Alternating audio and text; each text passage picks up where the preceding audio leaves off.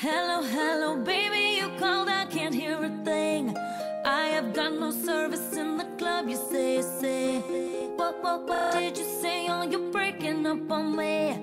Sorry, I cannot hear you, I'm kinda busy.